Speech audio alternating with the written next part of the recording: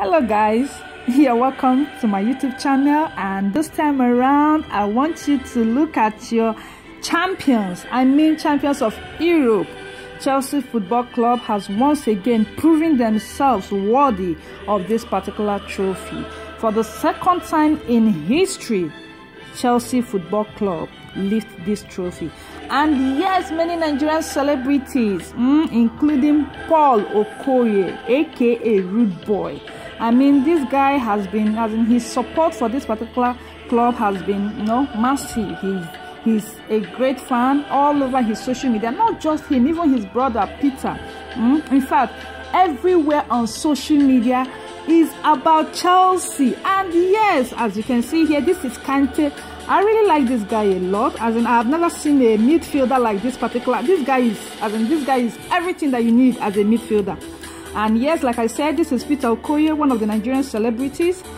Yeah, congratulations to Chelsea Football Club. It's not easy. In fact, me, I'm a Man U fan. No, yes, I'm a Man U fan.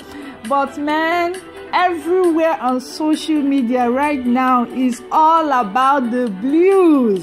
Mm? In fact, they really deserve this cup. They worked so hard for it. They were so good. Yesterday they played like people who came to win. It's not easy.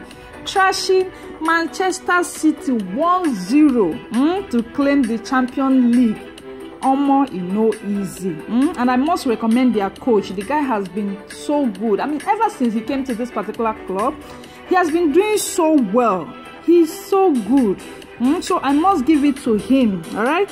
So guys, these are your winner. This is your winner. I mean, Chelsea Football Club, champions of Europe. You know, easy. Mm? And if you are not a Chelsea fan, I beg, make you go hide your face. So, mm, me, Kukuma myself, in fact, my social media, people have been tagging me to their posts. You know, as a Man U fan, they have been tagging me to come and see.